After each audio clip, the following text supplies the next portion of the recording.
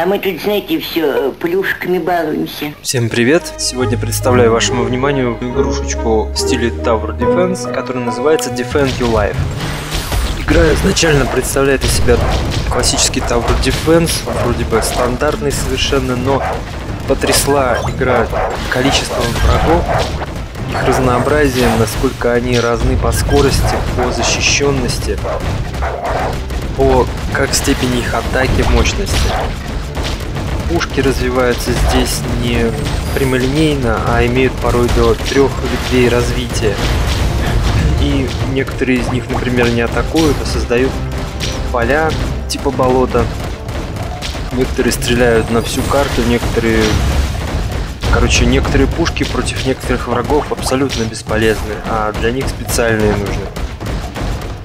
Игра держит напряжение каждый уровень, то есть нельзя развиться быстро и сидеть дальше, ничего не делая, наблюдать за разгромом противника. Постоянно приходится что-то делать, напрягаться, и под конец уровня можно, и в начале уровня можно проиграть. То есть баланс выверен с ювелирной точностью.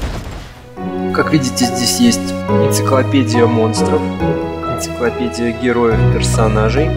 Правда, некоторые кнопки ведут, к сожалению, в интернет. Да, например, билдингс, построение башен, и трюки и советы также ведут в интернет через браузер. В этой игре вы будете зарабатывать кристаллы, и за прохождение уровня вместо звезд вам будут выдаваться золотые монетки. На кристаллы вы можете покупать вот такие повер-апы. Это сердечки, дополнительная жизнь на уровень. Можно купить здоровенного бугая монстра и так далее.